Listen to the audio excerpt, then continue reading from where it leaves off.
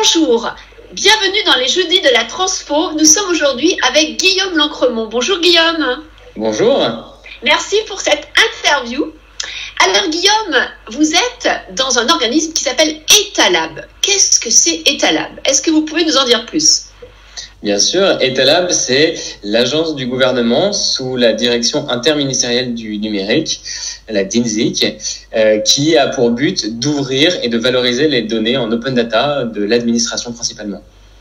Donc, dans ce service, Etalab, il y a plein de projets. C'est bien ça. On a entendu parler très souvent de DataGouv. Est-ce que c'est un projet d'Etalab?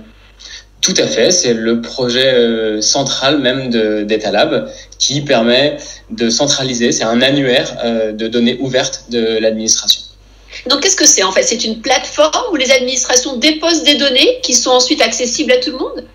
Exactement, avec un moteur de recherche euh, comme Google pour permettre de rechercher un jeu de données pour que des gens qui ont besoin de ces données puissent y accéder alors, est-ce que vous pouvez nous donner, par exemple, un exemple on, vient de vivre cette, euh, pandémie avec la Covid.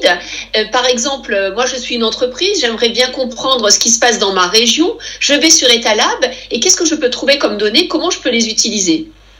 Alors en fait, les données sont produites par les agences régionales de santé. Euh, derrière, elles les publient ces données et elles sont accessibles depuis datagouv.fr. Donc il suffit d'aller en tant qu'entreprise sur la plateforme, donc c'est data.gouv.fr. On tape euh, par exemple données euh, de contamination euh, Covid-19 et ensuite vont apparaître les jeux de données qui correspondent à cette, cette requête. On peut les télécharger et les réutiliser pour en faire, pour en sortir des analyses, pour en faire des, des graphiques, voilà, comme bon vous semble. Donc en fait, ce sont des données ouvertes à tous, entreprises, pays, individus, pour pouvoir ensuite compléter et répondre à des questions. Exactement. Alors la question, c'est le mot-clé pour vous, pour votre projet PIAF. Qu'est-ce que c'est ce projet PIAF Alors PIAF, déjà c'est un acronyme, ça veut dire pour des IA francophones. Euh, l'idée de PIAF, c'est de, de donner des ressources à l'intelligence artificielle francophone pour qu'on ait des applications plus tard en français et qui soient performantes et ouvertes à tous.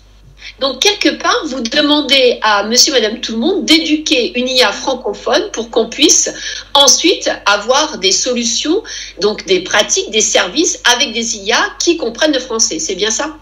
C'est exactement ça. En fait, ce qu'il faut comprendre, c'est qu'une IA, elle ne sait rien faire au début. Il faut lui montrer plein d'exemples. Donc, on a besoin, et on a besoin d'exemples qui sont produits par des humains, des vrais.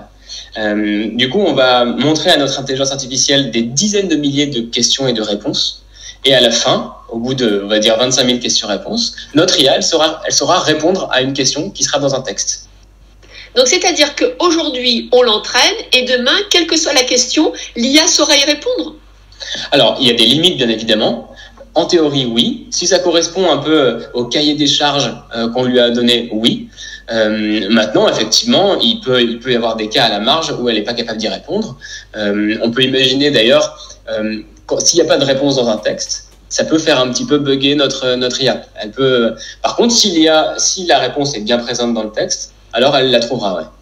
Alors, l'utilisateur qui va aller sur donc, le site Etalab et ensuite sur le projet PIAF, en fait, quel est son intérêt d'éduquer une IA française? Bah, C'est un projet qui est ouvert à tous. Euh, L'intérêt du citoyen, c'est qu'un jour, il va avoir le, retour de, ses contributions via un service public amélioré. Donc on peut imaginer qu'on ait plus tard euh, des chatbots euh, qui permettent de poser des questions directement aux administrations et d'avoir des réponses instantanées avec l'utilisation de ce genre de technologie. voilà, ce qui permet, alors ça c'est un exemple, hein, il pourrait y en avoir d'autres, mais euh, l'idée quand même, c'est que l'administration puisse se servir euh, de l'IA pour améliorer la qualité euh, de son service. Donc, si je comprends bien, on pourrait dire donc à l'ensemble de notre communauté, si vous êtes un citoyen engagé qui veut une IA française, francophone, eh bien, commencez par éduquer cette IA, prenez plaisir avec ce jeu de l'éducation, et demain, ben, grâce à votre participation, on pourra avoir des IA qui sont francophones. C'est un peu ça le message.